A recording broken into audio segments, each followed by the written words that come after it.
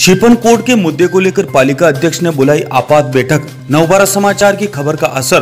पालिका अध्यक्ष अनुज गुप्ता ने सरकार के पाले में डाली गेंद।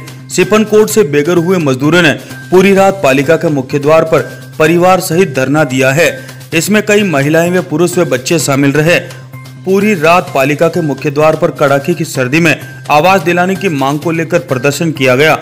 नगर पालिका अध्यक्ष अनुज गुप्ता ने प्रदर्शनकारियों से भेंट कर उन्हें आश्वासन दिया कि आज ही सभी सभासदों को बुलाकर पालिका की आपात बैठक की जाएगी और शासन को प्रस्ताव भेजकर पालिका की भूमि को हस्तांतरित किया जाएगा।